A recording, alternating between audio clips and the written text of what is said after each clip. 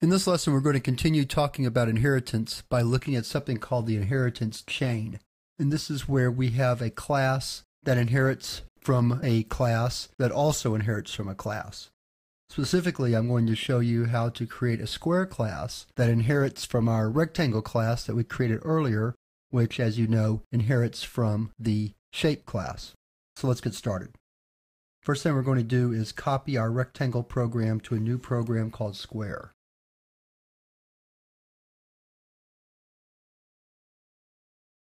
Next, let's open the Square program. Scroll down to right before the working code, right after the rectangle definition. Let's begin our definition of square.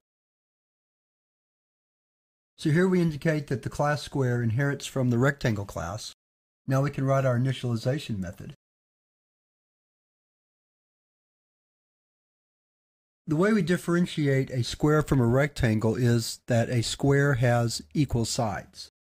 So what we want to check to see when we're creating a new square object is that the width and the height are the same. If they're not, what we'll do is we'll just assign the height of an object to the width. So watch how we do that. Just like so. After that, we can just call the constructor or the initialize method for the rectangle class by calling super with our parameters. And that's all we need to do to initialize a square. Next, let's create a toString method that displays the same data the rectangle toString method displays, but just to differentiate it a little bit, we'll have a little heading that says square before the xy coordinates and the height and the width.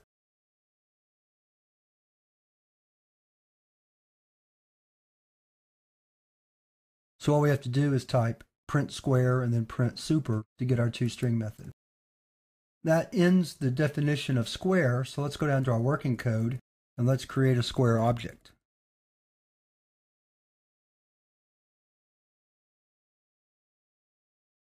And then we'll write out its state with toString. So let's save this and run it and see what we get. So there's our square with a height and width of 4 and located at xy 712. Now let's create a square object that doesn't have the same width and height.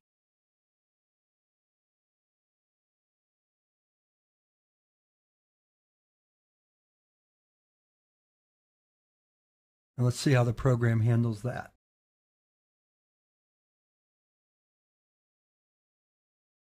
So you see it adjusted for the fact that the width and the height were not the same by making them equal, which is just an arbitrary decision in a program, say with the user interface, we could have prompted the user again to enter the correct value. But here we're just making an arbitrary decision to make the height and width equal since they have to be for the shape to be a square. So there's our code. Not too difficult, but it does demonstrate nicely how the inheritance chain works so that we can have very complex hierarchies of objects when we need to although I caution you not to make them too complex because it becomes harder and harder to keep everything straight. And some people question even the efficiency of programs that have very complex inheritance chains. But for something like shape to rectangle to square, that's not overly complex and it perfectly models the relationship these shapes have with each other. So that wraps up this lesson on the inheritance chain, and we're ready to move on to the exercises for this chapter.